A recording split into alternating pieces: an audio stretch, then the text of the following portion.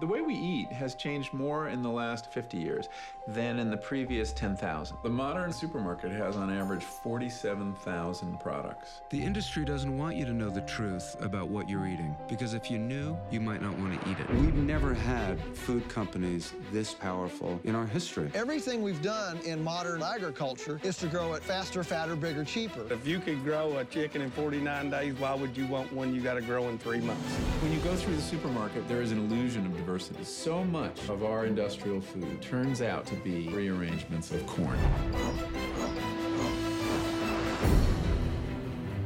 Sometimes you look at a vegetable and say, okay, well, we can get two hamburgers for the same price. They have managed to make it against the law to criticize their products. There is an effort to make it illegal to publish a photo of any industrial food operation.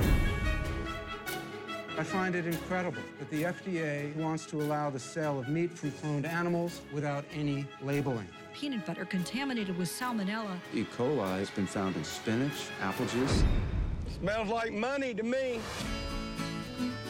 The average consumer does not feel very powerful. It's the exact opposite.